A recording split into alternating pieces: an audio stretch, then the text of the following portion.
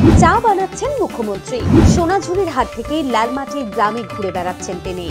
জনসংযোগ নাকি damage control কোনটা করছেন তৃণমূল সুপ্রিমো? অনুব্রত কাণ্ডায় বীরভূমিকে কি পদ্মের মাথা চারার ভয়? দেখুন।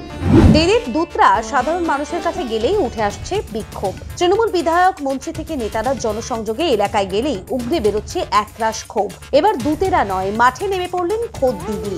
বীরভূমের লালমাটিতে এসে সোনাঝুরির হাটে আগেই গিয়েছিলেন মমতা বন্দ্যোপাধ্যায়। এবার তিনি পৌঁছে গেলেন গ্রামেরই এক চায়ের দোকানে। চায়ের জল ফুটলে দিলেন চিনি, চা পাতা। কাগজের কাপে ঢেলে চা দেওয়ার ফাঁকে জানতে চাইলেন আর কারা বাকি রয়েছে। ওয়াকিবহাল মহল বলছে, জেলা সদরে বেরিয়ে এই জনসংযোগ নতুন কিছু নয়। পাহাড় থেকে পশ্চিম মেদিনীপুরের আদিবাসী গ্রামে মাটির কাছাকাছি পৌঁছেই মমতা বন্দ্যোপাধ্যায় জনসংযোগ করেন। তার ক্যারিশমার জোরেই তিনি হয়ে উঠেছেন বাংলার জননেত্রী। কিন্তু এবারের বীরভূমের জনসংযোগ কি একই লক্ষ্যে? রাজনৈতিক মহলে কান পাতলে শোনা যাচ্ছে, কিছুটা হলেও ব্যাকফুটে তৃণমূল। অনুব্রত মণ্ডল গ্রেপ্তার হওয়ার পরেই দলের মধ্যে গোষ্ঠীদ্বন্দ্ব প্রকট হয়েছে। সামনে পঞ্চায়েত নির্বাচনে ঢাক বাজার অপেক্ষা। তার মধ্যেই বীরভূমের সাধারণ মানুষের জমে থাকা ক্ষোভ সামনে আসছে। দিদির দুধকে ঘিরে। ওয়াকিবহাল মহলের একাংশের মত, অনুব্রতর ভয়ে যারা এতকাল কথা বলতে পারত না, তারা এবার মুখ খুলতে শুরু করেছে।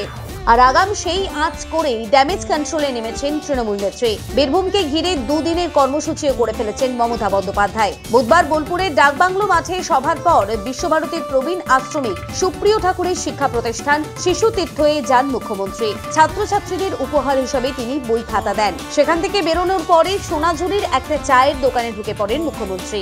নিজে চা তৈরি করে সঙ্গে থাকা আধিকারিক এবং অন্যান্যদের হাতে তুলে দেন। চায়ের দোকান থেকে বেরিয়ে পাশের একটি জনজাতি গ্রামেও তিনি গিয়েছিলেন। অর্থাৎ রাজনৈতিক অবস্থানে এবার গ্রামের মানুষদের কাছে দিদিকে পৌঁছাতেই হবে। পঞ্চায়েত ভোটের আগে সাধারণ মানুষের সঙ্গে সেই সম্পর্কের বাঁধন ফের নিয়ে আসতে হবে।